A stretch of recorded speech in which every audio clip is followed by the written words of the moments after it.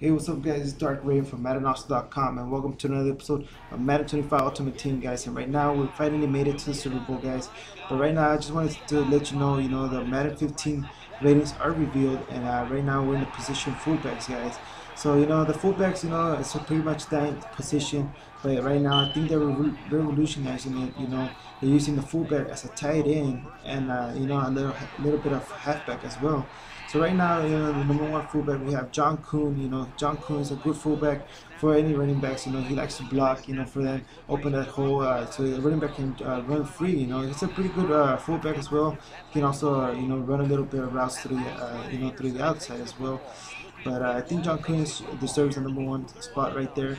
So, anyways, we're gonna go ahead and have Mike Tolbert as number two. He has 92 overall, you know. He's a 90 trucking and 80 carrying.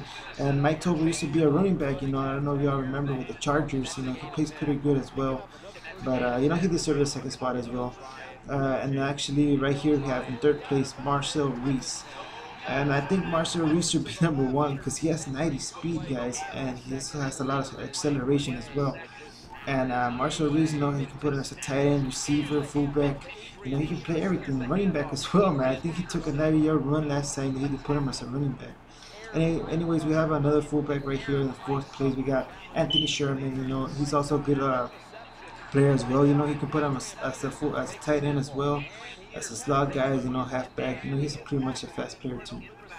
And last but not but not least, we got uh, Jerome Felton as well. You know, he's a big uh, fullback as well. You know, he likes to uh, block a lot for Adrian Peterson. You know, he deserves to be there, man. He he deserves to be in the top five because he's one of the reasons he has Adrian Peterson as a number one running back for years. And I think uh, there's, there's another uh, fullback that should have been there. It's Charles Clay from the Miami Dolphins. You know, and I think they're considering him as a tight end, but you're not considering him as a fullback. You know, he's a big uh, back, and you know he likes to block a lot well. So, anyways, right here to 21-0, guys. You know, my opponent didn't much uh, have anything to you know, to play with. You know, he, he didn't come to play against me, so that's pretty much it, guys. You know, I won the Super Bowl right there. Didn't get an easy pick right there by Donte Whitner. And finally, guys, we're Super Bowl champions for the third time.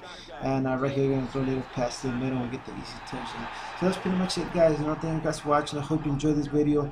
Also, don't forget to subscribe to my channel. You know, share my video, like my video as well. Any questions, guys, just leave it on the comment section below. Until later, guys, your boy Dark Raven.